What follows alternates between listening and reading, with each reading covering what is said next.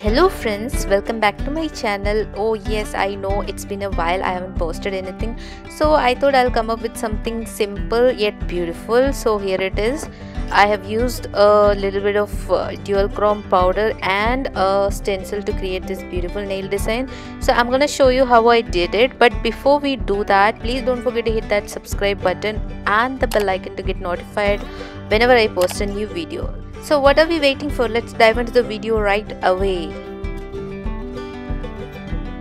First thing I'm gonna start with the base coat. I'll be applying a decent layer of base coat on my nails and then I'm gonna let it dry completely and also i have added all the product links in the description box so if you guys are interested you can check it out so now my base color is completely dried so i'm gonna apply the black base. So i'll be using this polish from El Corazon.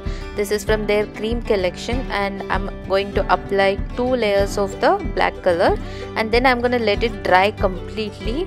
If you want you can apply a top coat after the two uh, layers of polishes but i'm not uh, applying a top coat so that's how it looks and this is the powder that i'm going to use. This i got from aliexpress. This was really cheap and it works really well.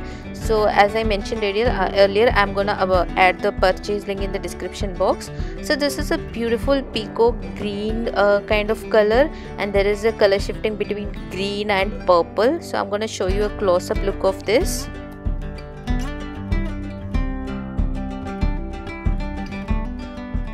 this is so beautiful so satisfying. So you can stare at this powder for like forever. So i have a bunch of them different colors and if you guys are interested let me know. I'll put a video about this. Now for our design i'll be using this beautiful uh, stencil from aliexpress.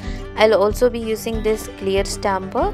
So i'm gonna cut it and then i'll peel the design from the plastic coating because this has this sticky thing uh, in the back so then I will just place it in the stamper and I'm also going to give a little you know tiny cuts on the corner so that the stencil fits properly to the stamper because if it lifts no then we don't get that uh, precision in our design.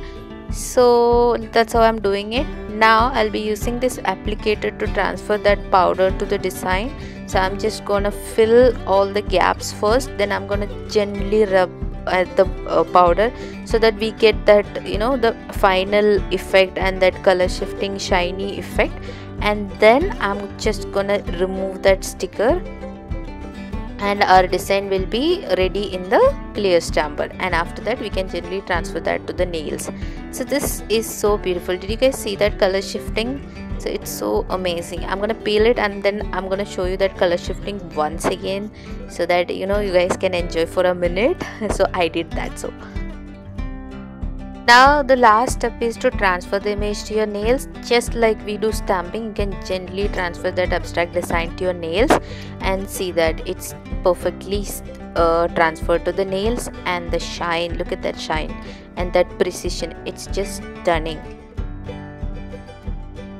I repeated the same on all my five fingers and then I'm gonna use this UNT's uh, it's not a gel top coat but it's somewhat similar to the gel top coat.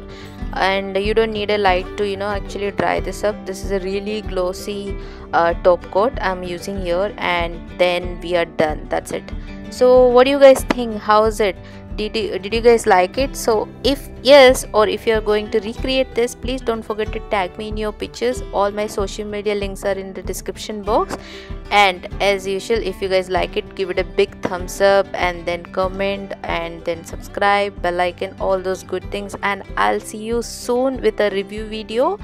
And stay tuned. Until then bye bye